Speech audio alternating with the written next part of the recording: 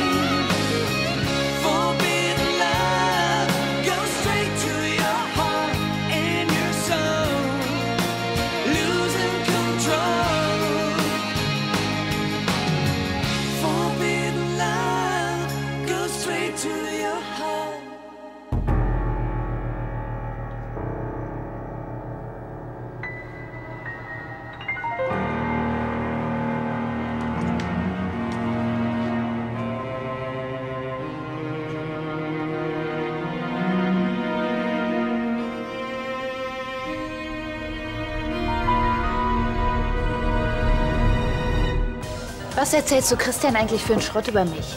Du hast doch angefangen, haust mich voll in die Pfanne. Dafür hast du ihn jetzt vertrieben. Ach, jetzt bin ich wieder schuld, oder was?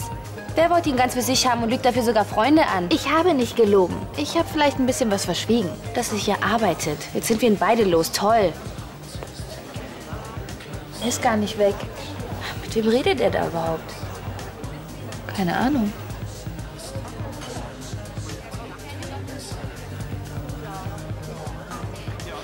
Können wir das nicht später klären? Es ist gerade äußerst ungünstig. Am Telefon wäre es mir auch lieber gewesen. Aber wenn du nicht rangehst, Mein Akku war leer. du hast erreichbar zu sein. Ich weiß, es kommt nicht wieder vor. Schön. Du hast den Brief also bekommen? Gut. Halte dich bitte Wort für Wort daran. Nimm es nicht auf die leichte Schulter. Keine Sorge. Liegt sonst noch was an? Für heute nicht. Also dann?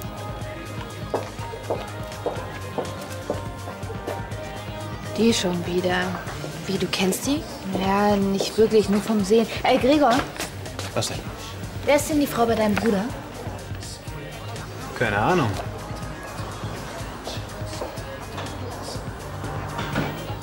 Naja, aber seine große Liebe scheint es ja nicht zu sein.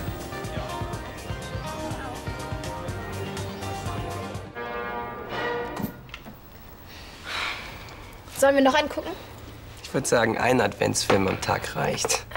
Das ist mir sonst zu viel Zuckerguss. Aber so muss das sein. Genau wie bei Weihnachtsplätzchen. Die sind übrigens sehr lecker. Anfängerglück. Ja, und worauf hast du sonst Lust? Also ich treffe mich heute Abend mit ein paar Kumpels im Club. Oh, dann muss ich aber vorher noch mal nach Hause mir was anderes anziehen. Ich sehe die erst ziemlich spät und deine Mutter findet das bestimmt nicht toll, wenn du da mitkommst. Die überrede ich schon. Ach Lisa, lass das mal lieber, das gibt nur wieder Stress. Ich fahre dich gleich nach Hause, ja? Und was machst du morgen? Da habe ich noch nichts vor. Dann komm doch mit bowlen. Ich bin morgen mit ein paar Freundinnen aus meiner Klasse verabredet. Störe ich da nicht? Im Gegenteil, dann lernst du die endlich mal alle kennen. Und die dich. Könnt ihr alle bohlen? Andi war früher voll der Meister.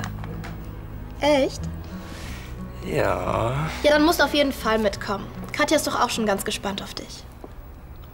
Ein rudelsüßer 16-Jähriger. Das ist doch ein Traum. Absolut. Also, was ist jetzt? Ich bin dabei. Na, habt ihr sein Geheimnis gelüftet? Noch nicht, aber wir arbeiten dran. Also, wer war die Frau eben? Eine flüchtige Bekannte. Ach, dafür trifft ihr euch aber ziemlich oft. Zufall. Zusammen übrigens. Äh, äh, äh. Freikaufen gilt. 15 bitte. Schön. Gell? Oh, ist das deine? Gib her. Ist der von der Lady vorhin? Ihr seid aber ganz schön neugierig. Es wird ja auch immer mysteriöser. Ja, ich find's auch spannend langsam. Ich glaube, da hinten wollen welche bezahlen. So, so. Mit uns hast du Pech. Wir geben nicht so leicht auf. Können wir jetzt nicht mal bitte das Thema wechseln? Pass auf, wir raten. Du sagst ja oder nein, okay? Wenn ihr meint. Deine Zahnärztin ist sie also nicht, so viel wissen wir schon. Vielleicht deine Ex-Freundin? Wen will man denn sonst nicht so gern sehen? Wer sagt das? Das sieht man. Hast du Schulden bei ihr? Nein, Hast du ihr Auto zu Schrott gefahren? auch nicht. Vielleicht hast du ja sonst was ausgefressen. Ja, genau. Sie ist deine Bewährungshelferin?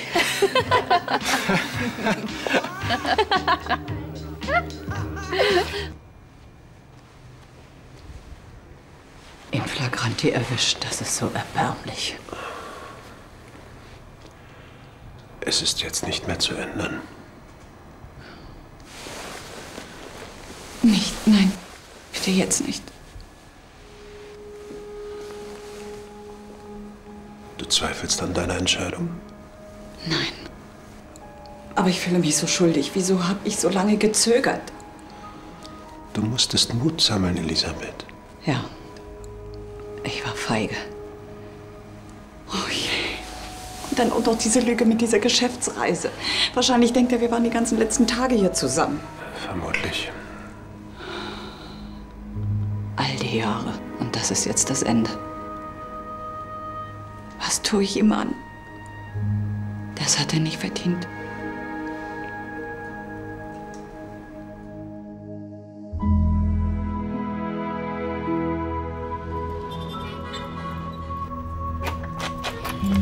Heißt das, Nein, ich kann doch nichts sagen. Aber ja, ich habe irgendwie schon so ein schwangeres Gefühl. dann ist es bestimmt auch so. Machen wir uns erstmal lieber nicht so viele Hoffnungen, ja? In ein, zwei Wochen wissen wir mehr. Trotzdem, du schonst dich jetzt erstmal und machst dir einen schönen Abend. Ja, du auch. Ich liebe dich. Ich dich auch. Ah, Papa. Warum sitzen du im Dunkeln? Alles in Ordnung? Wirklich? Alles bestens. Ich bin dann oben, ja?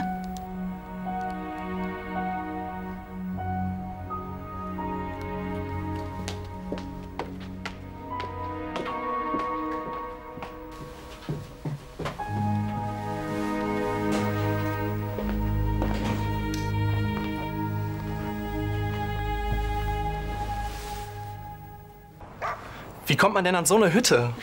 Gute Freunde und Glück. Davon kann man nie genug haben. Ja, aber ein Heizstrahler wäre auch nicht schlecht. Coco! Hey, du Rabenmutter, ich glaube, dein Hund hat Hunger. Der sitzt mir schon fast auf dem Schoß. Keine Angst, Pepper isst kein Gammelfleisch. Mach ihm eine Dose auf. Ich mach dir gleich was auf. Du kümmerst dich jetzt um deinen Köter. Ich fass doch das Zeug nicht an.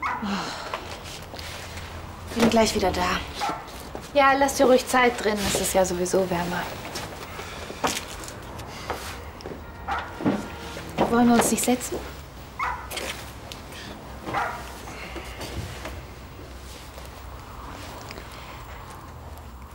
Was hat dich denn nach Düsseldorf verschlagen?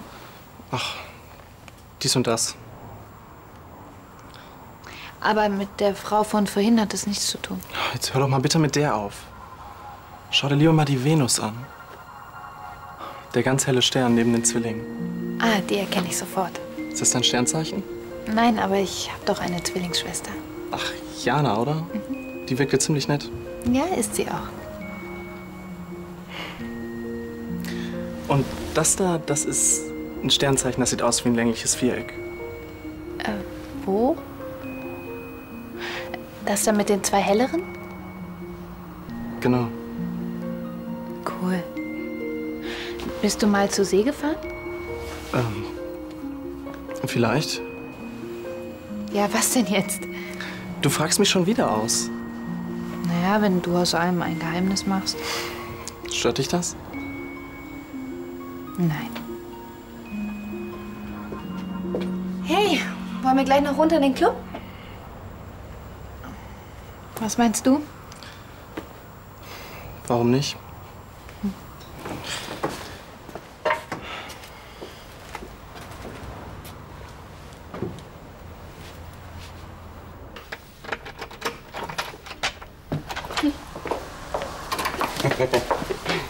Sind schon alle im Bett? Hätte ich ja doch noch mitgehen können. Ich glaube, das ist schon besser so. Ziehst du morgen deine schwarze Lederjacke an? Deine Mädels stehen wohl auf sowas. Vielleicht. Okay, ist gebongt. Sonst noch irgendwelche Wünsche? Mhm. Bleib noch länger, am liebsten die ganze Nacht. Also ein bisschen Zeit habe ich ja noch.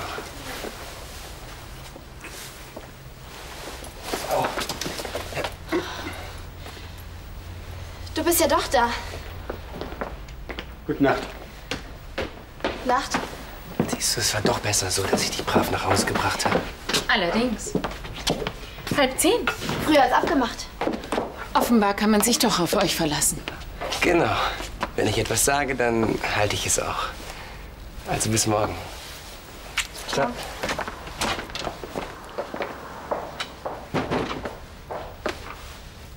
Er ist vernünftiger, als ich dachte.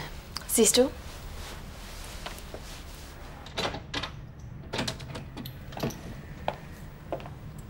Jetzt verkrieche ich mich hier. Sollte ich nicht lieber gleich mit Arno reden?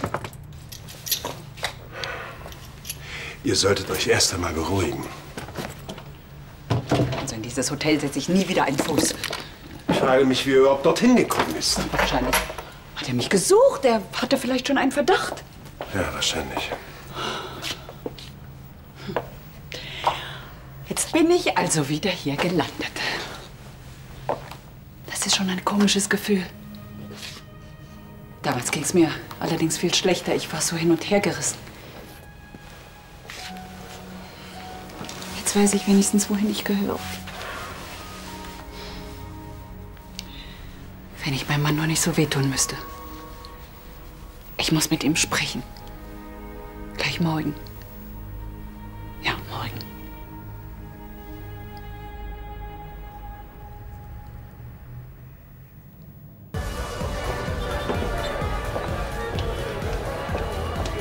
Sollen wir tanzen? Klar.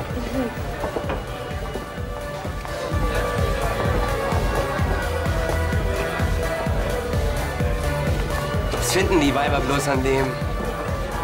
Was? Was die Weiber an dem Typen da finden? Sag mal, hast du keine Brille auf? So toll sieht er ja wohl auch nicht aus. Hast du Angst vor Konkurrenz, was? Quatsch. Hab ich das nötig? Solange Lisa nicht auf ihn steht. Das würde ich ihr nicht raten. Anscheinend doch. Hä? Was meinst du? Naja, es sieht jetzt fast so aus, als wäre Monogamie für dich gleich Monotonie. Oder warum baggerst du schon wieder an der nächsten rum? Ey, ich, ich hab doch nichts mit ihr. Ich will nur einen netten Abend haben. Und nach dem siebten Bier Nein, ehrlich nicht.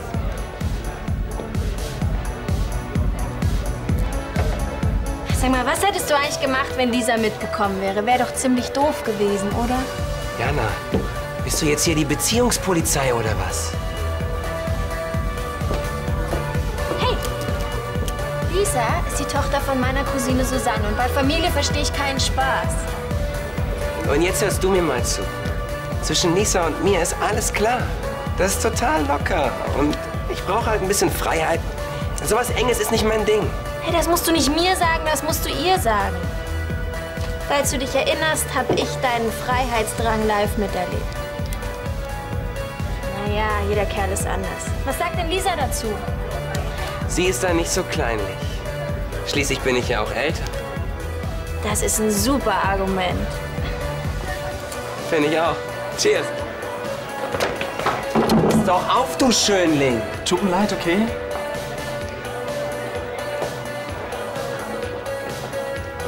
Kann ich bitte zahlen? Äh, Du ähm, willst schon gehen? Ich bin echt total kaputt. Fährt eigentlich noch irgendein Bus? Oh, wohl kaum. Das ist doch ein ganz schön langer Fußweg. Ja, willst du nicht lieber bei uns übernachten? Stimmt, wir haben ein super bequemes Sofa. Und eure Mitbewohner haben nichts dagegen? Quatsch. Quatsch. Nicht. Klar, dann super gerne. Danke.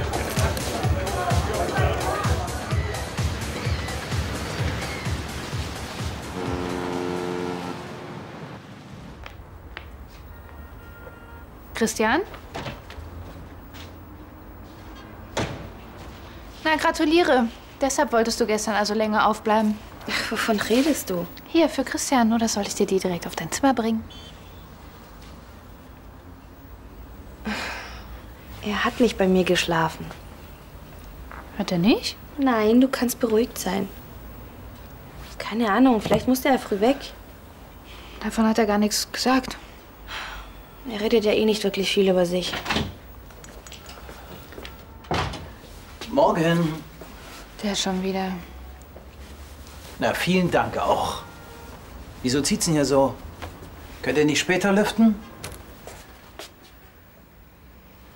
Na, das ist aber wirklich nicht sehr nett von euch. Was?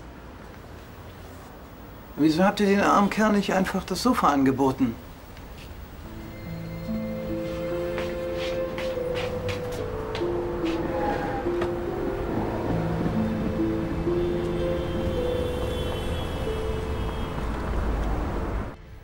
Hast heute nur drei Stunden Schule? Das ist eine Frechheit, ist das. Wie, du hast um elf Schluss. Dann kann ich dich aber nicht mitnehmen. Ist auch nicht nötig. Ich gehe nach der Schule noch bowlen. Na dann, hast du genug Geld? Ja. Wie lange arbeitest du heute?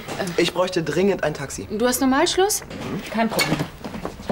Hey, Moment mal. Das ist für Arno. Äh, Das kann er haben. Willst du nichts essen? Was ist denn los? Was soll denn sein? Ich vermisse Elisabeth auch so langsam. Die ist doch nur mal ein paar Tage weg. Komm. Eben, bald hast du sie wieder.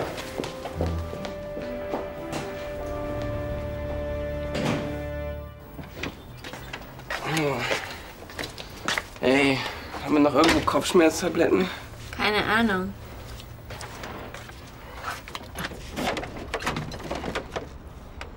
Ah, hier.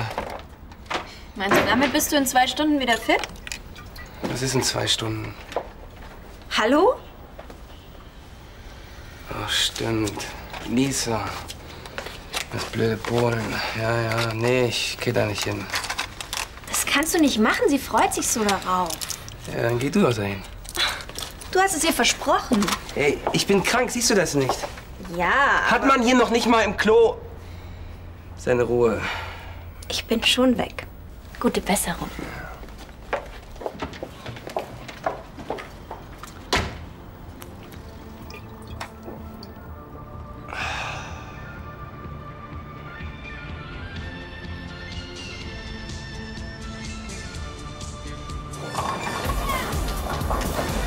fast jeden Tag und manchmal auch nachts. Scheint ja voll in dich verknallt zu sein.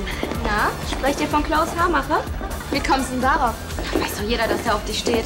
Und du bist echt mit Pickleface zusammen?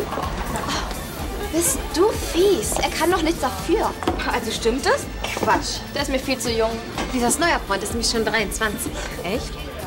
Die Jungs an unserer Schule sind einfach zu unreif. Andi spielt in einer ganz anderen Liga. Andi heißt er? Und wie hast du den kennengelernt? Wohnt mit Freunden von mir in der WG zusammen. Ziemlich lässig.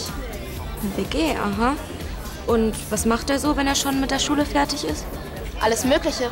Schlägt sich mit verschiedenen Jobs durch. Ansonsten fährt er Motorrad. Aber im Moment verbringt er die meiste Zeit mit mir. Naja, ihr werdet ihn ja gleich kennenlernen. Er kommt auch noch. Also ich hätte nicht für Geld da draußen übernachtet. Bei der Kälte? Das macht mir echt nichts aus. Ich mag frische Luft. Ach, und dann kellnerst du in der Kneipe? Man muss ja von irgendwas leben. Ja, wem sagst du das? Wann hast du deine nächste Schicht? Heute Abend? Cool, dann hast du ja noch Zeit. Ich habe auch noch nichts Besonderes vor.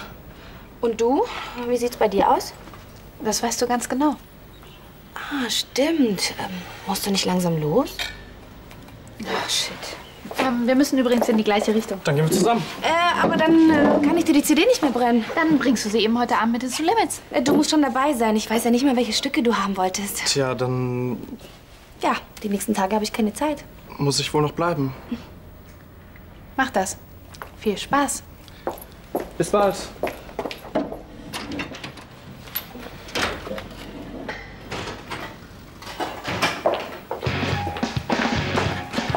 Holt sofort die Kiste. Was kann ich dafür, wenn du zu viel feierst? Wir können ja vielleicht auch in dein Zimmer gehen.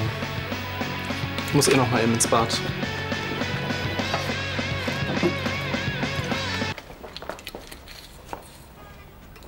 Ach so. Wenn er das sagt, dann geht das sofort, oder wie? Ja, er hat halt Charme.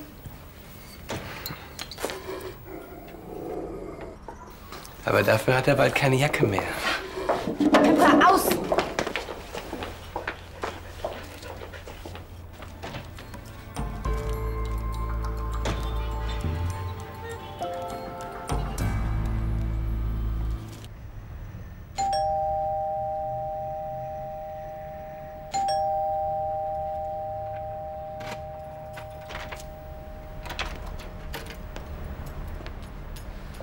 Arno?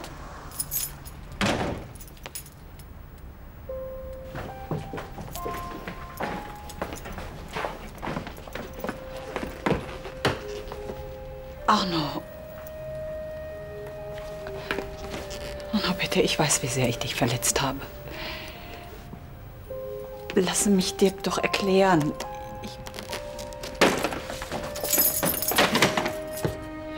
Arno, ich wollte nicht, dass du das so erfährst. Das wollte ich nicht.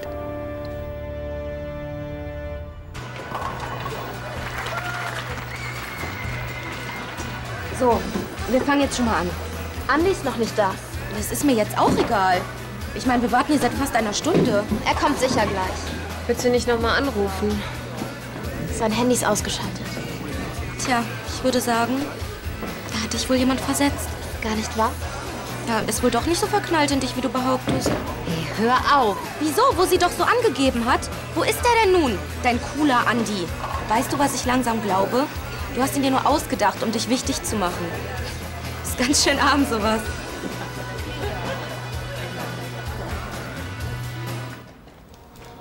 So, von mir aus können wir loslegen. Sollen wir in dein Zimmer? Ja, aber nimm deine Jacke mit, sonst macht sich Pepper wieder drüber her. Hat er das gerade? Ist nichts passiert. Nur das hier ist rausgeflogen. Oh, der ist wichtig, danke. Das kann ich mir vorstellen. Du hast ihn gelesen? Nein, ich habe nur den Absender gelesen. Ich kenne diese Art Briefe.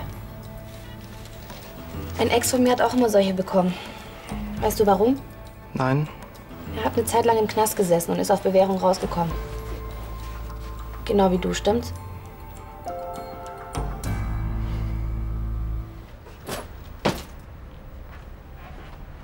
Arno, bitte sprich mit mir. Willst du denn nicht wissen, wie alles passiert ist? Elisabeth! Wie war es in Hannover? Boah, hattest du so viel Gepäck mit? Ich dachte, das war eine Geschäftsreise.